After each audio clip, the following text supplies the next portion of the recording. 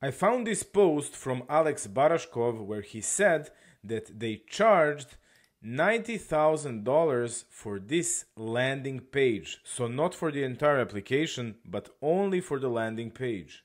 So in this video we're going to check out how does it look and which technologies are behind this landing page. Here it is. And when you see it for the first time, I gotta say it's really impressive. This beam of light looks really awesome. It's something I haven't seen before on any website. And here on our mouse over we have a lot of things showing up. We see parts of the app and we can guess what kind of app it is and check out this button. When I go my mouse over we have this light which looks really awesome and if we click it we're going to create account we again have that kind of light. This is maybe a good idea for a video for me to create this kind of button. Then the next thing we have here is this image. I would say this is just an image. Yes so this is showing the app. How does it look? And then this section is really amazing.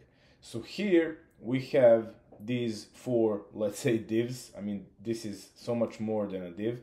So here when I go my mouse over, we are literally like working with this div. So we have mouse over here like we are inside the app, but we are actually not. This is just some kind of component that is changing based on where our mouse is. And same thing here. So here we can see that all the things are moving when we have our mouse over and also here a lot of things happening and also this bell icon it's changing the notification number and we have all this like flow like in some kind of water. Then next section is this video section and this one looks really nice. It's just a video and we have a bunch of stuff around the video. Then we have here oh this one looks really nice. So sync with github both ways. And we have this background gradient which is going around the div. And we have this like blue and orange and it looks really nice. There are all these i don't know if you see these dots like this grid behind which looks really cool. Then we have these features with custom icons which are looking really nice and going in well with the design. Then here we have this is just like some Huly MetaBrain some features again to show off.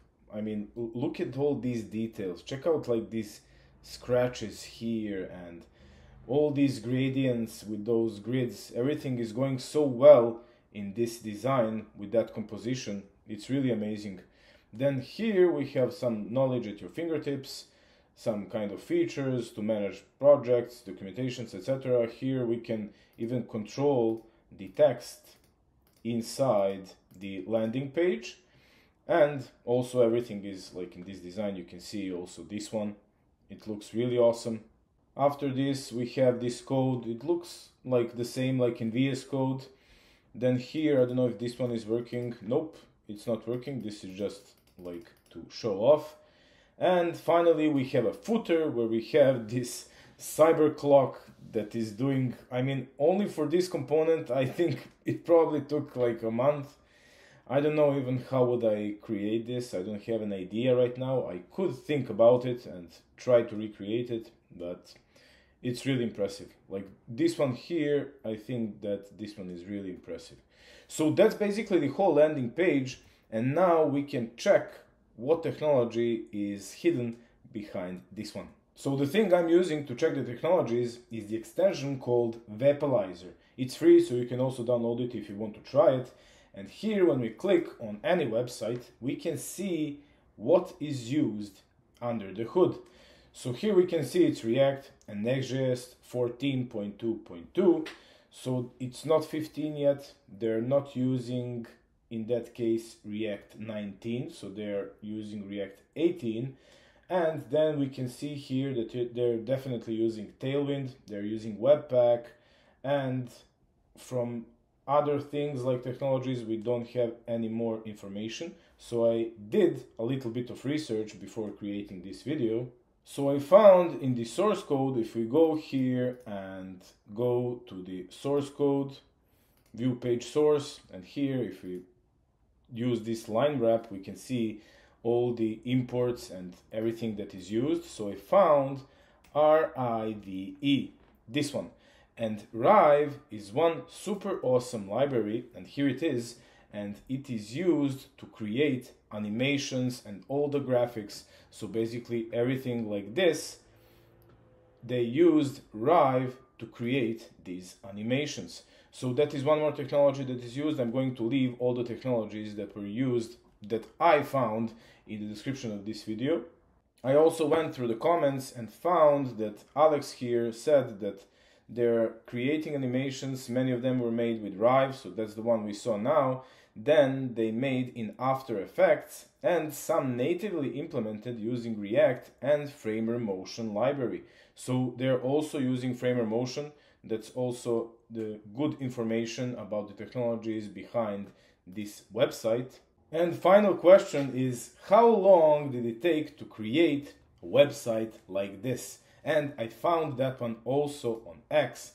So here they asked how much did it take and he said that this project took around four months.